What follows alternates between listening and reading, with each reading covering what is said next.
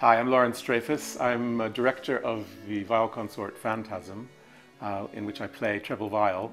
And we're here in beautiful Magdalen College, Oxford, in the State Room, um, as I'm a fellow here and have been a fellow for 10 years and am now uh, leaving, actually, retiring. And Phantasm have been the consort in residence here the last five years. It's been very exciting time for us to make music in the chapel. And we're in the middle of recording John Dowland's Lachrimae, which seems proper for a time of leaving because it's about tears. And uh, he talks about uh, lacrimae are seven tears of figured in seven passionate pavans. What I find so fascinating about John Dowland is that he's a true tunesmith.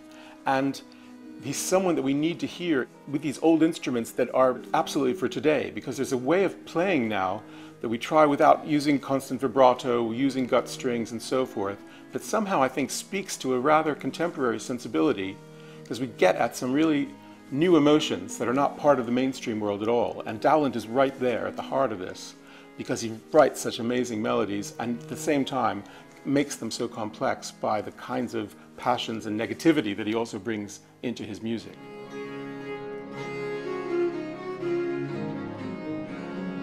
It's music that we've waited about uh, over 20 years to record, finding the right lutenist, Elizabeth Kenny, um, the right space to do it, and also trying to get into the depth of, of this music. It's the closest thing we come to uh, crossover music. This is music that's attracted Sting and Elvis Costello, uh, among others, and for good reason. It's tuneful, it's gorgeous, uh, but it's also very, very profound stuff.